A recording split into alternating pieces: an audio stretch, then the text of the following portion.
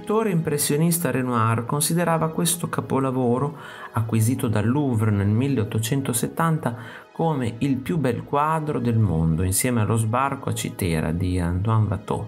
L'opera rappresenta una giovane merlettaia appartenente alla classe media olandese di Delft, curva sul tavolo di lavoro, intenta a ricamare.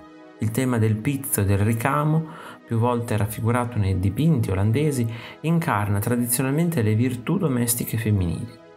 Il piccolo libro, che vediamo in primo piano, è sicuramente una Bibbia, sottolineando l'interpretazione morale e religiosa del lavoro. Ma questo dipinto, come la famosa lattaia, sempre di Vermeer, è anche un tuffo nel mondo della quotidianità olandese dell'epoca, perché al pittore piaceva osservare gli oggetti familiari che lo circondavano, combinandoli nelle sue composizioni.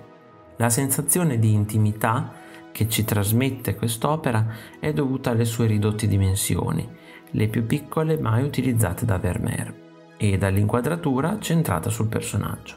Però, nonostante il legame stretto che l'opera crea con noi osservatori, non possiamo realmente entrare nel suo mondo di pizzi e ricami. Questo perché il cuscino e il tavolino ci separano dalla merlettaia e non riusciamo a vedere il suo lavoro che risulta nascosto dalla mano destra della giovane donna. Il genio del maestro di Delft sta anche nella capacità di riprodurre nelle sue opere ciò che un occhio umano osserverebbe, creando più profondità come se l'artista utilizzasse il teleobiettivo di una macchina fotografica. Così il centro della nostra attenzione, e cioè il lavoro meticoloso della merlettaia rappresentato dal filo bianco teso tra le dita della giovane donna, è messo perfettamente a fuoco dall'artista. Tuttavia, quando ci si allontana da questo punto focale della nostra visione, le forme diventano sempre più sfumate, anche se poste in primo piano. I fili bianchi e rossi che escono dal cuscino, ad esempio, non sono realizzati con precisione, ma appaiono come flussi di colore sovrapposti e astratti. I colori armoniosi di questo gioiello pittorico affascinarono Van Gogh che nel 1888 in una lettera all'amico pittore Émile Bernard descrisse la bellezza del dipinto di Vermeer come un'armonia di giallo, azzurro e grigio perla.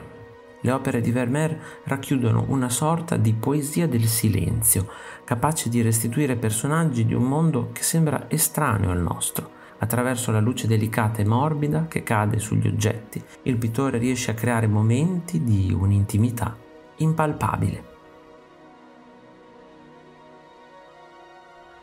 Se ti è piaciuto il video iscriviti al canale, lascia like e condividilo con i tuoi amici ti invito anche a visitare il mio negozio. Un saluto e al prossimo video di Arte Esplorando!